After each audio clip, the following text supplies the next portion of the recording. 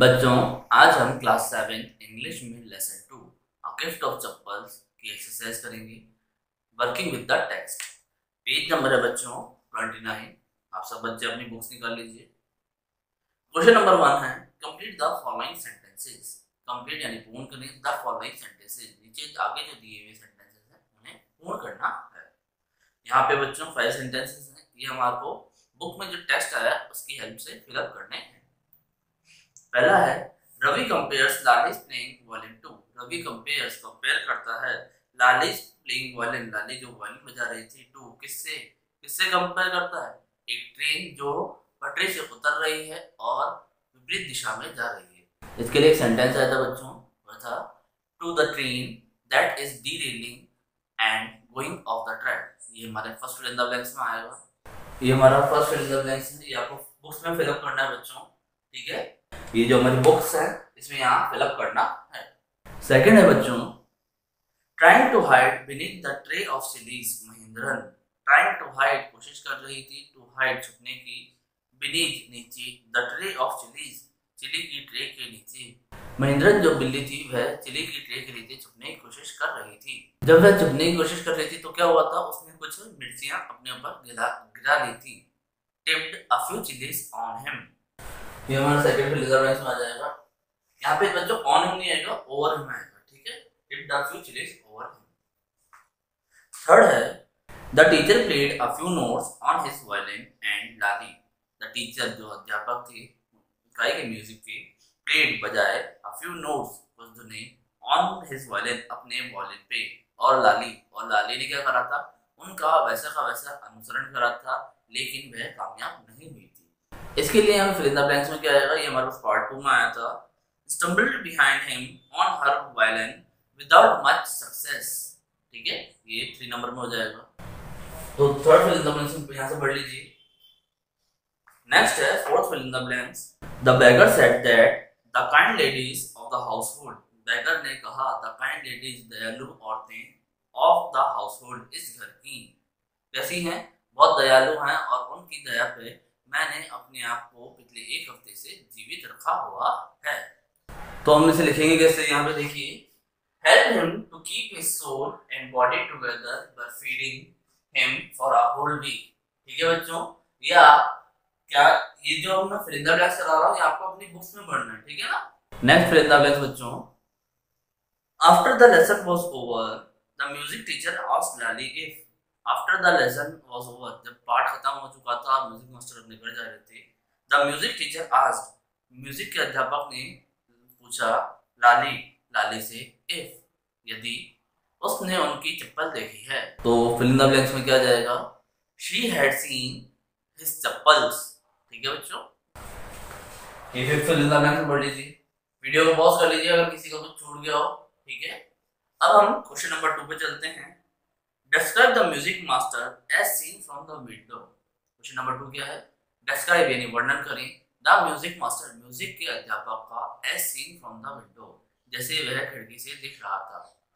ऐसा हमारे वर्णन करना है। ये कब हुआ था बच्चों? ये वर्णन हमारे कहाँ से मिलेगा? जब हमारा पार्ट टू शुरू हुआ था, तब एक आवाज़ शुरू आई थी तो मृदु देखते हुए खिड़की तक गई थी और उन्होंने खिड़की से देखा था कि म्यूज़िक मास्टर लाली को वॉल्यूम बजाना सिखा रहे हैं। तब उन्होंने म्यूज़िक मास्टर को देखा था और हमारे पास उनका वर्णन आया था कि म्यूज़िक मास्टर कैसे दिखते हैं। कैसे दिखते हैं? बहुत पतले दुबले थे, गंजे हो गए थे काफ़ी, और उन पर, उनके माथे पर थोड़े से बाल आ रहे थे, जो कान के साइड में भी थे थोड़े बहुत, ठीक है? उन्होंने एक सोने की चेन अपने लेदरली नेक में पहन रखी थी और एक हाथ में डायमंड की रिंग थी। जिससे वो वायलिन बजा रहे थे। और साथ ही उन्होंने अपना एक पतला सा पैर बाहर की ओर अपनी बेश्ती यानी धोती में से बाहर की ओर निकाल रखा था और उससे उसे वो बजा कर ताल मिलाने की कोशिश कर रहे थे। ऐसा हमारे पास एक डिस्क्रिप्शन आया था इसका मास्टर जी का। ठीक है? तो ये हमारा आंसर होगा। तो हमारा सेकंड का आंसर क्या हो जाएगा बच्चों? When seen from the window, music master was sitting in front of lali with his back to the window Mridu saw the bony figure of Master G's. He had mostly a bald head with a fringe of oiled black hair falling around his ears and old-fashioned tuft, एक चुटिया सी old पुराने तरह की. He had a gold chain around his leathery neck and a diamond ring in his hand. He was beating time on the floor with the scrawny big toe. ऐसे music master ji दिख रहे थे जब उन्हें खिड़की से देखा गया था। इसने मृदु ने देखा। Question number three one What makes Mridu conclude that the beggar has no money to buy chappals? What makes, क्या बनाया मृदु conclude मृदु को निष्कर्ष निकालने के लिए कि the beggar has no money भिखारी के पास बिल्कुल भी पैसे नहीं हैं टू बाय चप्पल्स चप्पल खरीदने के लिए। ऐसा क्यों सोचा था मृदु ने? ऐसा इसलिए सोचा था क्यों? क्योंकि जब उसने भिखारी ने अपने छिले हुए पैर दिखाए थे और उनसे दया करी थी कि वह थोड़ी देर नींद के नीचे ही विश्राम करना चाहता है। तो मृदु को दया आई थी और उसे लगा था कि भिखारी के पास चप्पल खरीदने के लिए भी पैसे नहीं हैं। ये हमारा इसका आंसर होगा। अब है थ्री का second part how does she suggest to show her concern how does she suggest उसने कैसे दर्शाया टू शो हर कंसर्न उसका कंसर्न दर्शाने के लिए क्या करा उसने? उसने ये रजायत दी इसे मीना और रवि को कि हम घर से कोई पुरानी चप्पल हो तो वो हम इस भिखारी को दे सकते हैं ये हमारे इन दोनों के आंसर्स रहेंगे तुम्हारा answer number three part one हो जाएगा the beggar was barefoot. He shown the children his feeling blisters from walking barefoot on road. On seeing this, Mridu conclude that the beggar has no money to buy chappals. ठीक है answer number three one answer number three part two She suggests to give an old pair of chappals to the beggar to show her concern. तो ये हमारा answer three के दोनों answer हो गए। आपको question number three part one उतारना है देन आंसर पार्ट वन लिखना है फिर पार्ट टू उतार के फिर उसका आंसर लिखना है। दोनों क्वेश्चन एक साथ उतार के दोनों आंसर लिखिएगा। एक क्वेश्चन करेगा देन एक आंसर दूसरा होता है दूसरा आंसर लिखिएगा, ठीक है? क्वेश्चन नंबर फोर की ओर बढ़ते हैं। Have you children she began क्या तुम बच्चे? शी बिगैन शुरू हुई एंड देन और फिर देखा seeing they were curiously quite seeing देख करके दे वर वे थे क्यूरियसली क्वाइट बहुत शांत, went on more slowly, गई और धीरे धीरे seen anyone lurking around the veranda scene देखा है एनीवन किसी को lurking around the veranda veranda यानी आगे का जो पोर्च है, उसमें किसी को वहाँ पे ताका झाकी करते हुए देखा है। अब क्वेश्चन नंबर वन आता है फोर्थ में। What do you think Rukmani really wanted to ask? What do you think आपको क्या लगता है Rukmani really wanted to ask?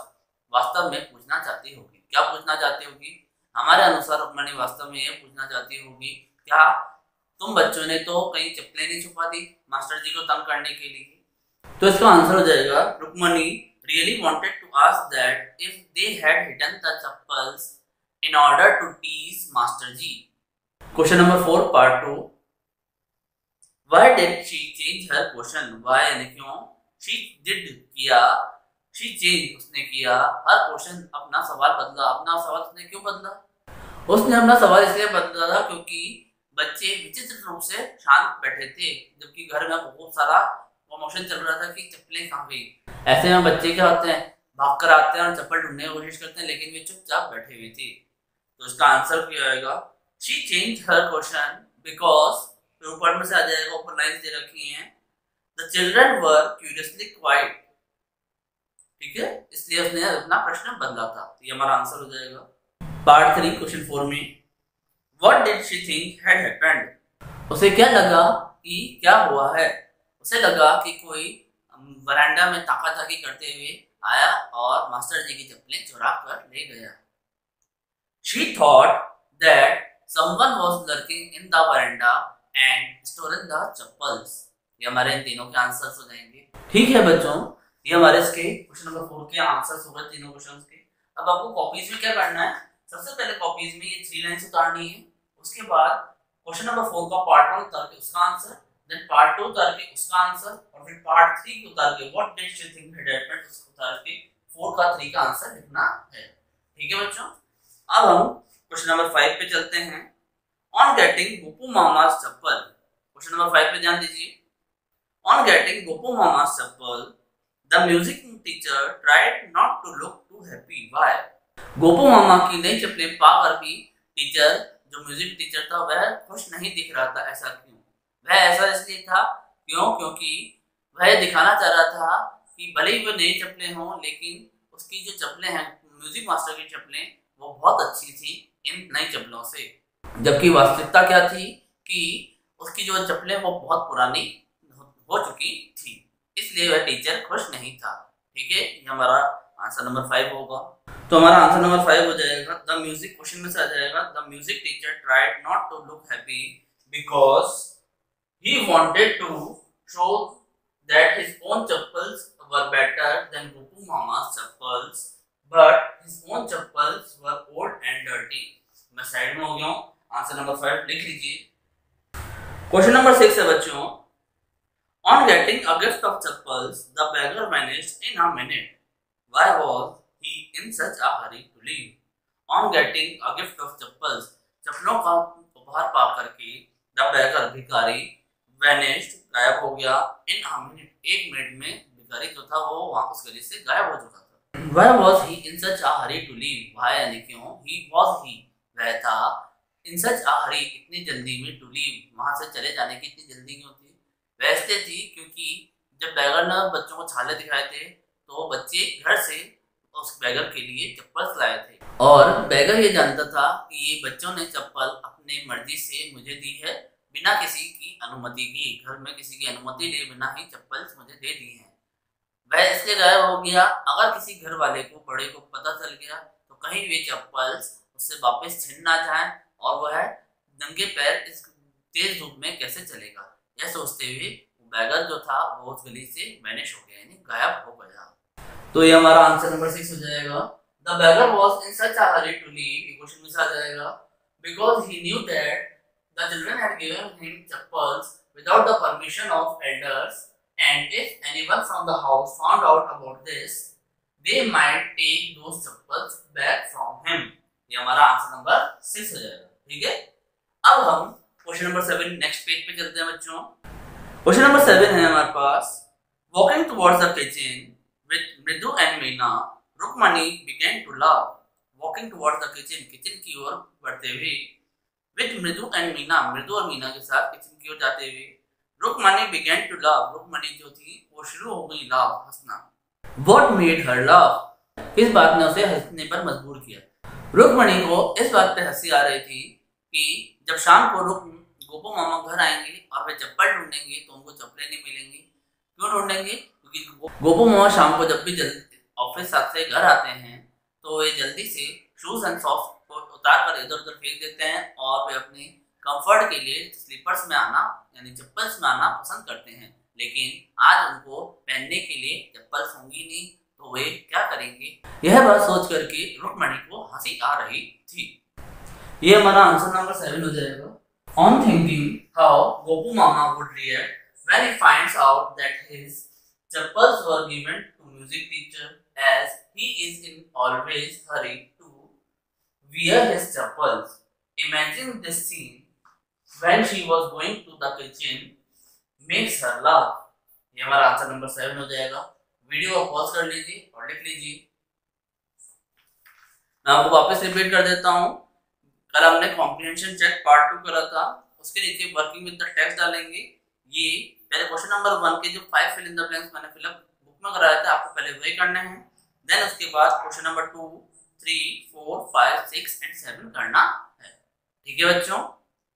अब हम चलते हैं वर्किंग विद द लैंग्वेज इसमें है रीड द फॉलोइंग सेंटेंसेस यहाँ पे कुछ सेंटेंसेस दिए हुए मैं पढ़ रहा हूँ।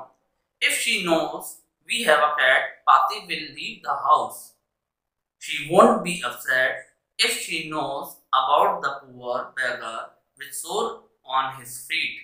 See, if the chappals do fit, will you really not mind?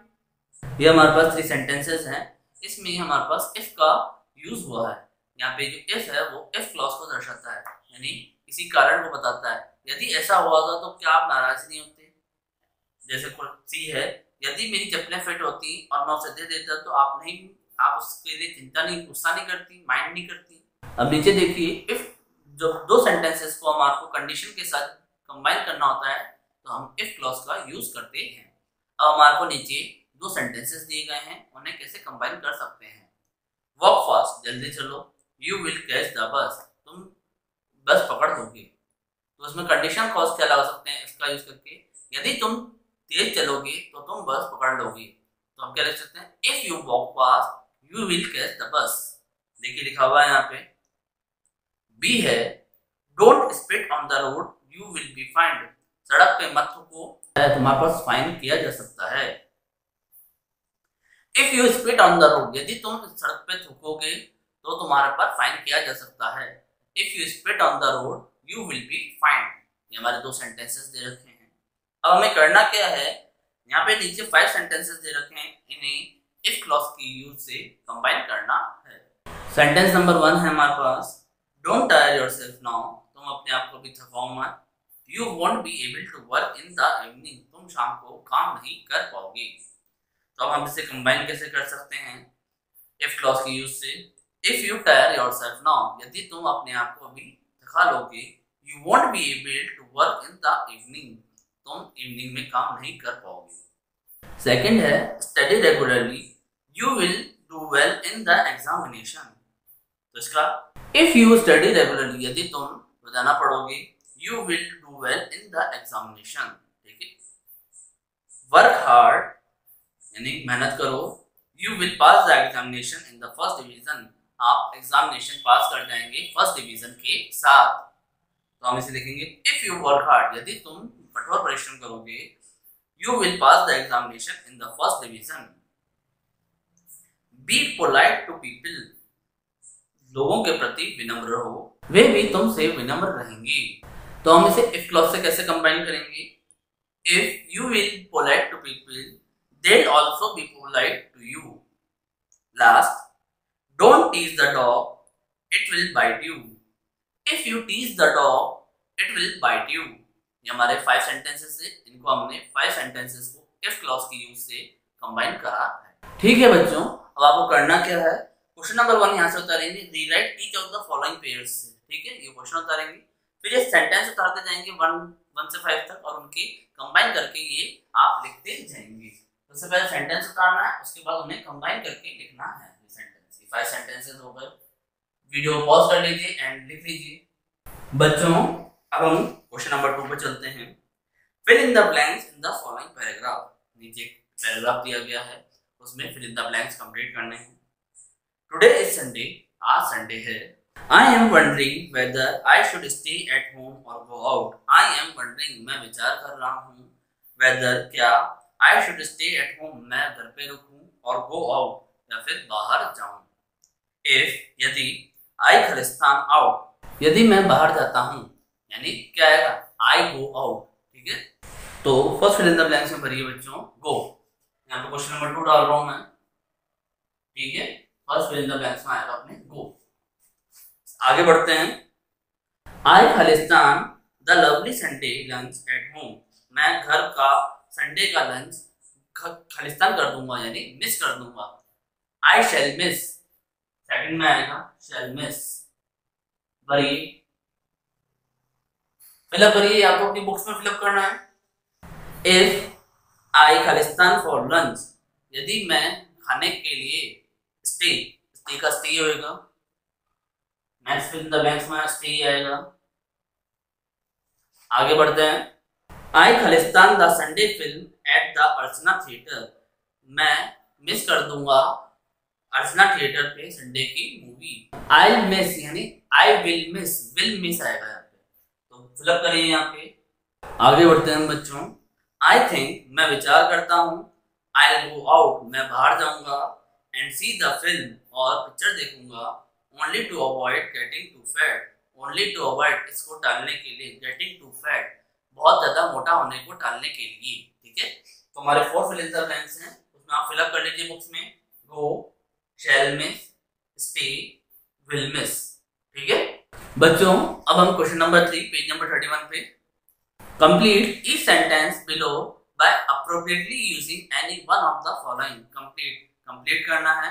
Each of the sentence नीचे दिए गए हर वाक्य को बाय अप्रोप्रिएटली यूजिंग सही तरीके से इस्तेमाल करके any one of the following किसी एक का नीचे दिए गए तीन हमारे पास फ्रेजेस हैं इनमें से किसी एक का यूज़ करके हमारे को जो फिल इन द ब्लैंक्स है सिक्स इन्हें फिलअप करना है। इफ़ यू वांट टू यदि तुम चाहो तो सेकंड फ्रेज है हमारे पास if you don't want to यदि तुम नहीं चाहो तो। If you want him to यदि तुम चाहो वह तो। ये हमारे पास तीन फ्रेजेस थे तीनों का मैंने एक्सप्लेनेशन कर दिया है। फ़र्स्ट है don't go to the theatre theatre मत जाओ। If you don't want to यदि तुम नहीं चाहते हो तो फ़र्स्ट में आएगा? आएगा if you don't want to fill up कर लीजिए ऊपर से देख के। ये फिलअप कर लीजिए। If you don't want to ठीक है? सेकंड है हमारे पास ही पोस्ट योर लेटर वह तुम्हारा लेटर पोस्ट कर देगा। अगर तुम चाहो वह करे ऐसा। तो इसके लिए क्या है? Third phrase if you want him to second में फिलअप कर लीजिए। थर्ड है हमारे पास प्लीज़ यूज़ माय पेन कृपा करके मेरा पेन इस्तेमाल कर सकते हैं आप। इफ़ यू वांट टू यदि आप चाहते हैं तो।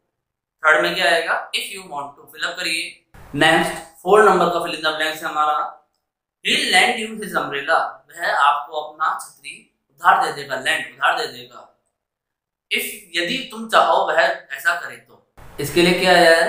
If you want him to fifth है बच्चों my neighbour Ramesh will take you to the doctor fill in the blanks मेरा neighbour Ramesh will take you तुम्हें ले जाएगा टू द डॉक्टर डॉक्टर के पास यदि तुम चाहो कि वह ऐसा करे तो। या फिर यदि तुम चाहो तो। इसमें दोनों आ सकते हैं। फ़र्स्ट वाला इफ़ यू वांट टू और if you want him to तो ज़्यादा बेटर क्या है? If you want him to fifth में आएगा, बरिए if you want him to next last fill the blanks हमारे पास बच्चों डोंट ईट इट इसे मत खाओ। यदि तुम नहीं खाना चाहते हो तो। If you don't want to यदि तुम नहीं चाहते हो तो। फिलअप करिए। ठीक है बच्चों, ये हमारे सिक्स फिल द ब्लैंक्स हुए। अगर किसी का कोई छूट गया हो फिल द ब्लैंक्स फिलअप करने से। तो यहाँ पे लिखे हुए हैं आप इसे फिलअप कर सकते हैं। अब आपको होमवर्क में क्या करना है? मैंने आपको वर्किंग विद द टेक्स्ट समझा दिया था कैसे करना है। Then working with the language में क्वेश्चन नंबर वन डाल के वो फाइव सेंटेंसेस लिखकर उनकी फाइव सेंटेंसेस को इफ़ क्लॉज से कंबाइन करना है। Then question number two and question number three मैंने आपको बुक्स में फिलअप करवाए हैं बच्चों तो आपको ये दोनों क्वेश्चंस जो हैं बुक से करने हैं। ठीक है बच्चों? आज की हमारी इंग्लिश की क्लास यहीं फिनिश होती है।